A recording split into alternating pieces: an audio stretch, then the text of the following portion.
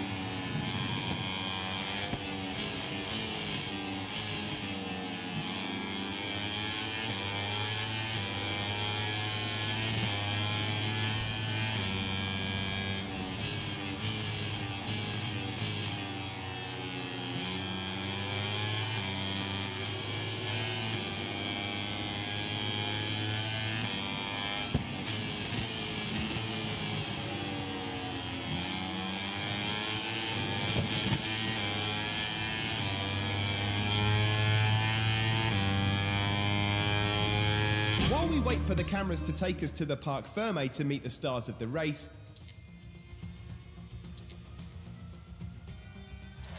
This victory is the cherry on top of an exhausting weekend. If his team keeps working like this, it will be really difficult for his opponents to overtake him.